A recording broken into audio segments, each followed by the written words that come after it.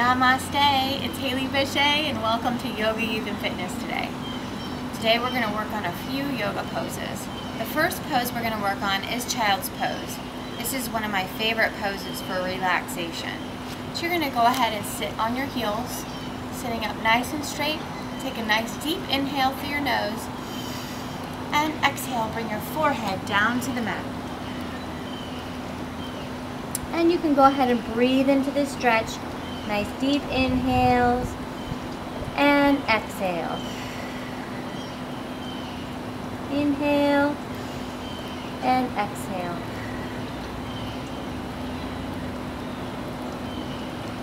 And lift yourself up nice and slow. Great job. The next pose we're going to do is cow pose. You're going to come up onto your hands and knees. This is a great stretch for your back. You're going to take a nice deep inhale through the nose and exhale, bring your belly down towards your mat. Inhale, come back to a straight back and exhale, bring your belly down towards the mat. One more time, inhale to center and